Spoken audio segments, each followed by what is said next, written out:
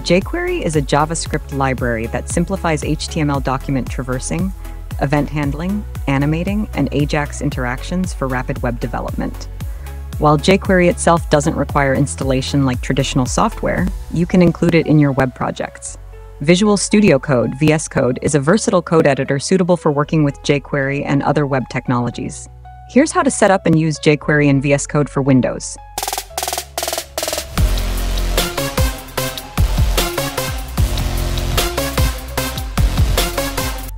Hash Installation Steps 1. Install Visual Studio Code if you haven't already. Download and install Visual Studio Code from the official website, Visual Studio Code, code.visualstudio.com.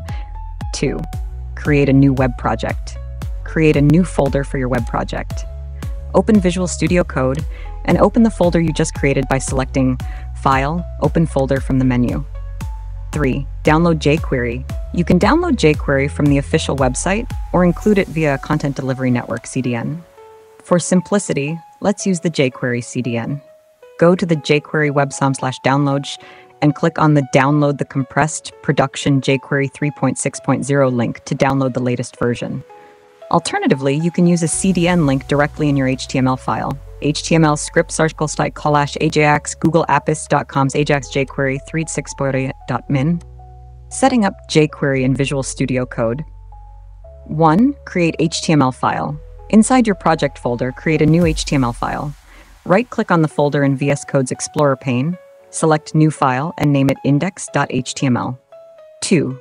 Include jQuery in HTML, open the index.html file, file and include the jQuery script tag in the head section. HTML doctype HTML head, meta charset UTF-8, meta name of viewport, content width device width, initial scale jQuery example, script slash ajax.googleapis.com slash ajax libs jQuery 3.6.0 slash j jquan hello jQuery.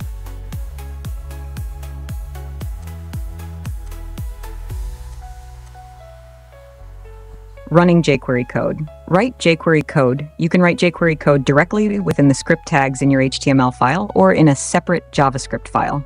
HTML script document ready function $h1 dot click function this CSS color red. 2. Run the code. Open your HTML file in a web browser.